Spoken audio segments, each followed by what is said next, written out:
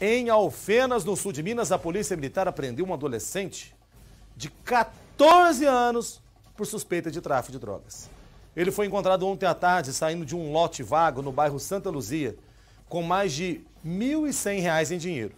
No lote, a polícia militar encontrou 510 pinos com cocaína e mais 100 buchas de maconha da erva, do capeta, do coisa ruim, do putifado, do zebu, do desgranhento, do tinhoso.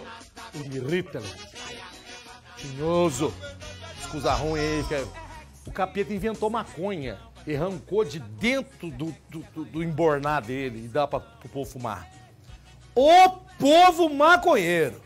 O rapazinho de 14 anos diz que a cocaína seria vendida no esquema Pague 5, Leve 6. Ó, promoção, hein? Ele e o material foram levados para a delegacia. 14 anos, sabe o que vai dar pra ele? Nada. Mas em compensação, o traficante vai ficar bravo com ele, viu? O dono da droga aí vai querer saber, cadê aquele tanto de dinheiro? Cadê os 510 pinos? Cadê os 100, 100 pacotes de maconha?